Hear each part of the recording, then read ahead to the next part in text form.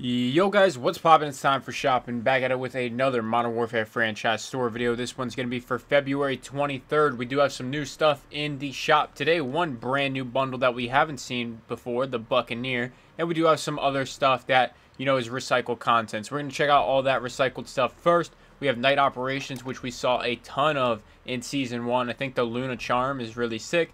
But I'm not really a big fan of it because it is another one of those PP Bizon blueprints, and there are so many of those in the game right now. So, not a big fan of it just because of that. They're kind of plain, but that Luna Charm is pretty sick in my opinion. I've always liked that one because I'm a big Destiny fan, and when Destiny 1 came out, the whole space theme, I thought it was super sick. We have Arms Dealer making a return, probably for the fifth or sixth time. Uh, Freedom Fighter, check this one out. AK blueprint here. You know, pretty compact, has some 74U vibes. Check out the skin real quick. And we do have a finishing move here as well.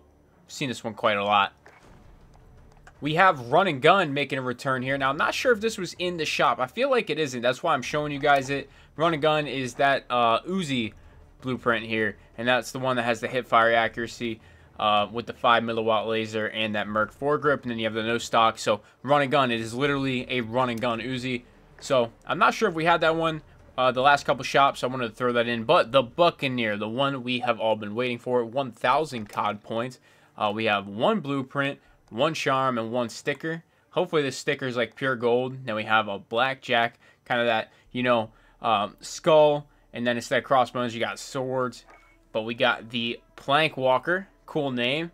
Compensator, FSS Stubby Barrel. Not a fan of the barrel. Operator foregrip, stipple grip tape, and a sniper scope.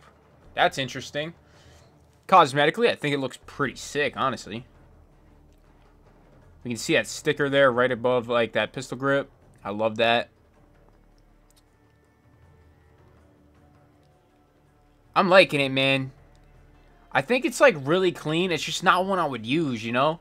Especially with that wax sniper scope on there. I mean, if, if there's a bipod underbarrel attachment, maybe. Like, maybe you can post up with it. And that barrel's whack, too.